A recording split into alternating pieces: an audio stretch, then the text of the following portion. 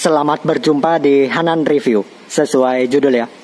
Dimulai di sisi pencahayaan masa depan masih menggunakan halogen. Lampu sen, lampu senja. Lampu sen ada lagi di sini di bawah. Untuk bumper bahannya ini plastik. Warna hitam doff. Di depan ada pembersih kaca wiper 2 serta untuk air wipernya itu ada dua juga di sini sekarang ke roda atau bannya yang berukuran 195 per 60 R14 untuk merek bannya Campiro velgnya seperti ini. Velg asli bautnya pasti ada 4 karena ketutup ini dop untuk pengereman depan cakram sedangkan belakang masih menggunakan tromol masih tromol belakangnya.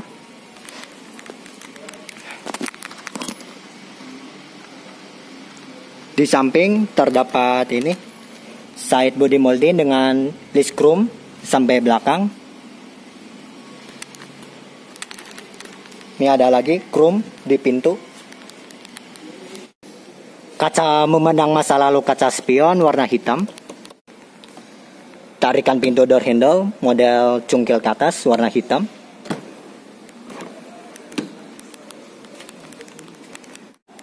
Ini dia interiornya seperti ini yang berwarna abu-abu dengan bags bentuk joknya seperti ini berbahan fabric dengan headrest adjustable. Pengaturan joknya ini masih menggunakan manual di sini sandaran, peninggi jok, head adjuster, serta posisi di sini. Nah, di bawahnya ada tuas untuk buka bagasi belakang, serta tangki bensin. Di dot trim, dot trim depan dilapisi bahan soft touch. Soft touch yang keras, di bawahnya ini plastik. Di sini ada bahan fabric yang di tengah, di sini bahan halus. Di bawahnya ada penyimpanan. Nggak bisa naruh botol. Tombol power window ada 4 yang auto cuma di pengemudi aja. Ini buat ngunci jendela. Buat ngunci pintu di sini. Ada lampu warna merah Di sini ada tombol buat pengaturan kaca memandang masa lalu kaca spion. Untuk melipat masih manual. Ini kosong. Ini ada tempat fuse. Ada pelimpanan koin. Ada tulisan koin. Tuas buka kap mesin. Transmisi manual, tiga pedal. Ini ada karpetnya. Ini dia setirnya, empat palang. Untuk bahan setirnya bahan biasa. Ini buat klakson di sini. Nah, saklar di sebelah kanan untuk lampu, lampu utama lampu sen. Sedangkan di sebelah kiri untuk pembersih kaca wiper yang sudah intermittent. Di tengah sini lampu hazard, lampu darurat, tinggal digeser kanan aja. Seperti inilah tampilan speedometernya. Lengkap dengan tatometer, mesin, bensin, temperatur mesin, bensin. Di sini ada buat Mobil ini sudah berjalan 91.000 km. Untuk kunci seperti ini bentuknya dengan remote alarm tambahan. Sekarang Coba starter mobil ini.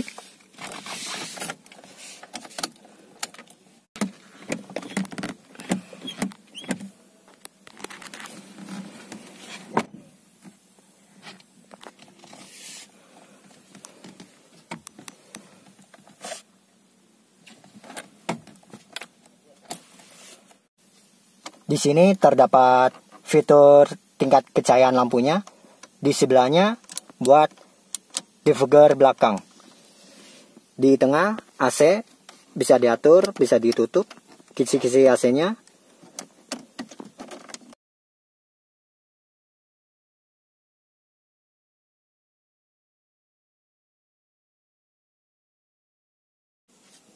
Di atasnya ada jam digital. Bisa diatur dari sini.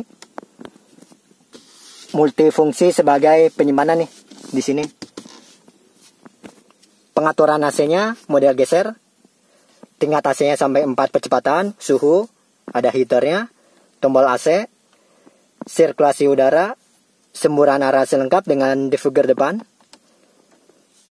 sistem hiburan head unit, single din, aftermarket, ada AM FM CD di bawahnya ada asbak di sebelahnya soket lighter ada penyimpanan terbuka. Ada penyimpanan yang tipis banget nih. Tipis banget. Bisa ditutup. Bisa dijadikan sebagai penyimpanan dokumen rahasia. Transmisi manual 5 percepatan. Rem parkir model sehat. Di sini untuk apa nih? Kalau ada yang tahu ini buat apa, komentar aja di bawah. Ini bukan buat kunci jendela ya. Kayak ada bunyi di sini nih. Buat apa ya kira-kira? Oh ya, apakah setirnya bisa diatur? Ternyata nggak bisa. Fix Di sini ada tuas untuk cuk.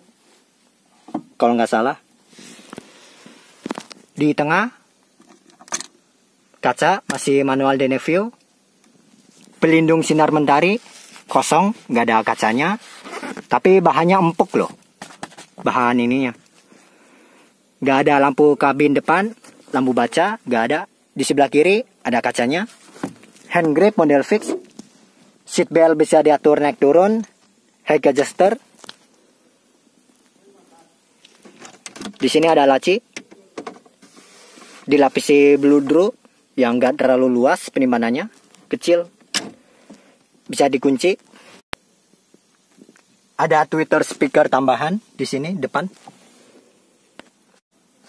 Baiklah, saya sudah di baris kedua mobil ini. Lihatlah ruang kaki saya lega. Dan untuk ruang kepala masih lega. Di baris 2 terdapat seatback pocket, penyimpanan terhimpit ada dua. Di sini nggak ada apa-apanya, nggak ada penyimpanan. Tar dulu. Ternyata ada. Di sini penyimpanan. Tertutup. Di baris 2 ada lampu kabin. Masih warna kuning. Dan masih nyala. Hand grip model fix di baris 2 ada gantungan bajunya di sebelah kanan. Untuk di sebelah kiri gak ada. Jok di baris 2. Headrest nyatu. Di sini ada armrest. Serta seat belt ada dua titik. Nah, untuk speaker baris 2 di sini di belakang ada dua.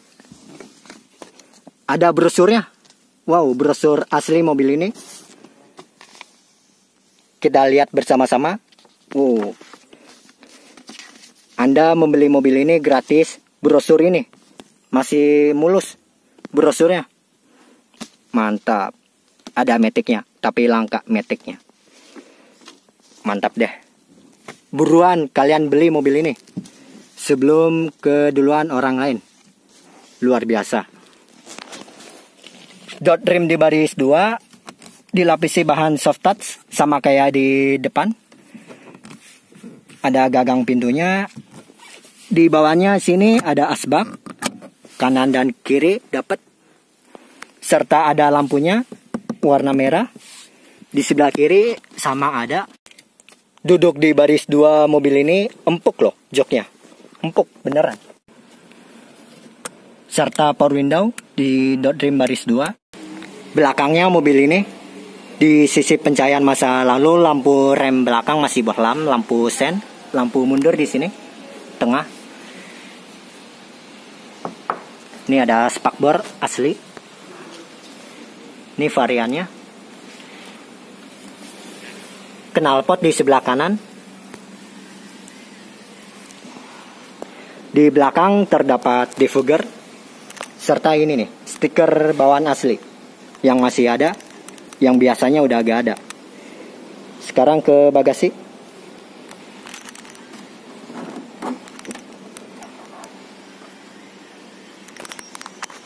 Bagasi yang luas. Ini ada speaker tambahan. Lampu.